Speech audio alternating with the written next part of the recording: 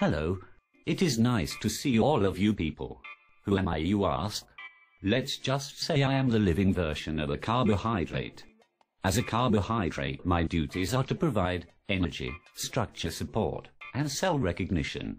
Those are just a few basic examples. Other names my friends call me is glucose or disaccharide.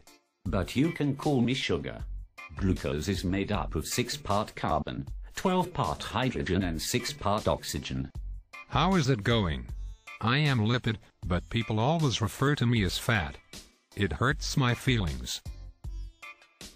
As a lipid, I am made up of carbon atoms bonded like hydrogen atoms.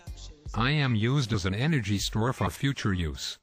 I may not sound like much, but I am highly important to your everyday activities. Hey there. I am well known as protein. My favorite activities are to give you structure, support, and movement of your body. Plus, I am made up of over 20 amino acids. Hello, we are nucleic acids.